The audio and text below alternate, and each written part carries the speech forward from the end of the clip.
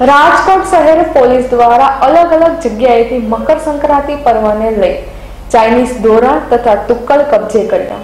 જેમાં Rajkot junction plot Ahuja general સ્ટોર્સમાંથી Chinese ફિરકીઓ નંગ એકવીસ, જેની કિંમત પાંચ હજાર બસો પચાસ તથા સદ્દર બજારમાંથી સોની સિઝન સ્ટોરમાંથી ચાઇનીઝ તુક્કલ નંગ એકસો પાંચ,